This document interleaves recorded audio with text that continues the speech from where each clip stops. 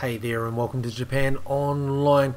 Well, a question I've been received, uh, I've received over the last uh, few weeks, months, uh, is can you fly your drone in Japan uh, and Tokyo? Um, and I'll get to that a little bit later in the video, but first I just want to explain the video that you're watching at the moment. Uh, I've uh, I've had a, a drone now, or drones since early 2014 so uh, a few years now um, I love the things. Um, I've got uh, three of them the um, the uh, DJI Inspire 2 uh, the Mavic uh, Phantom 4 um, and I'm thinking again the Spark but yeah I don't think I'll really need it. Um, when I flew this when I the drone I used for this video is the Phantom 2 with the GoPro uh, and when I first got the, the, the Phantom 2, I thought, oh man, I'm going to capture some cool videos for you guys to watch of different uh, different parts of Japan you know and and incorporate it into the, my normal videos. And and I've been flying around uh, my local area and city and uh, getting some co cool footage and whatnot. And um, we decided to go to Tokyo.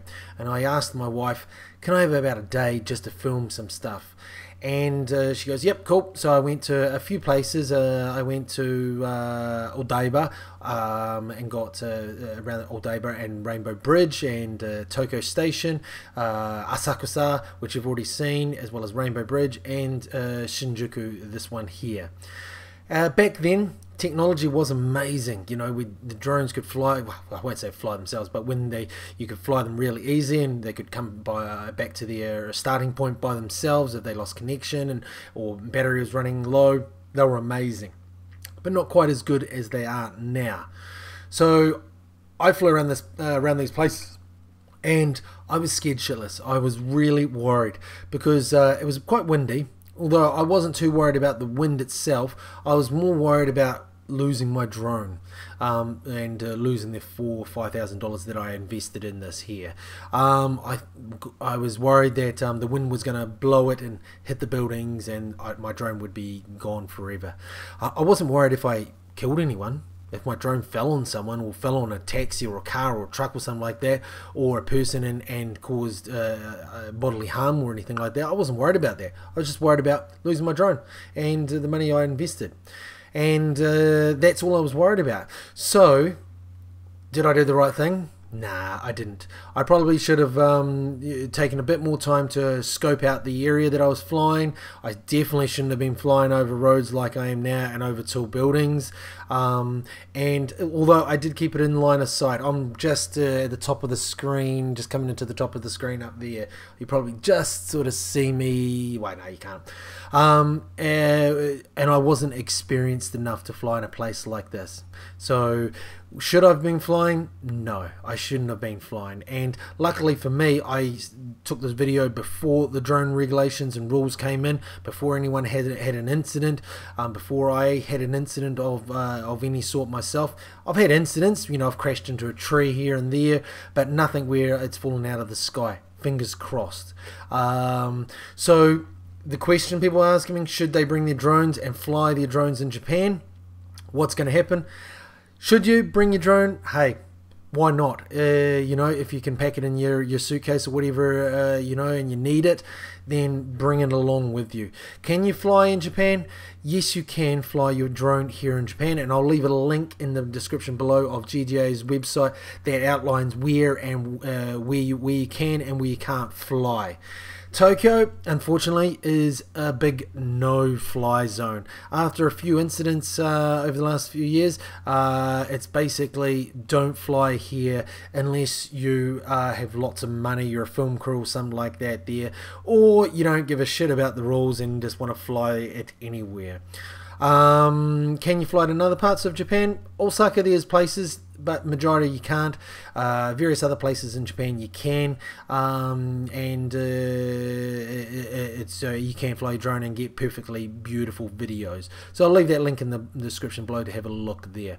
Um, if you're going to to fly your drone in Japan, like I said, don't. You didn't hear it from me that you should. But if you're the uh, if you you're going to fly it without permission and break the uh, the rules, um, then you've got to make sure you're following as many safety precautions as possible. So you first of all you make sure your drone's up to date, got the latest firmware of the, the drone itself, the controller, and the batteries. Even your iPad or whatever device you're using to view the uh, the camera. Okay, uh, when you go out to you know to fly it, then make sure that your landing and taking off area is clear on the ground and above. Japan has lots of power poles, lots of power lines just flying everywhere okay? Make sure that your return home is higher than anything in around you. That includes if you go to places like this where the buildings are 250 260 meters tall. So if you get behind a building it's gone. It's going to smack into that if it's not taller than that building, okay, or tree or whatever it is, okay. Um, when you do to fly, make sure you keep the drone in line of sight. Don't let it go further than 100, 200 meters away from you because it's it's it's a speck if it's like the Spark or the Mavic uh, Pro, okay. You're not going to be able to keep it in sight, uh, and uh, if you've got a spotter, then great. Use a spotter to to keep an eye on your drone while you look at the the, the monitor, okay. Um, when you do fly, don't fly over roads like I am here. Don't fly over people if you can.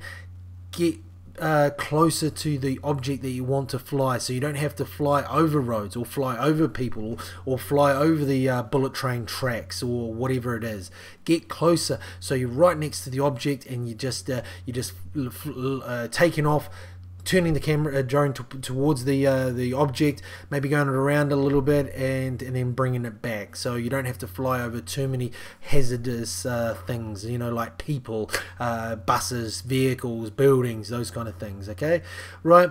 Um, and uh, don't be a dick.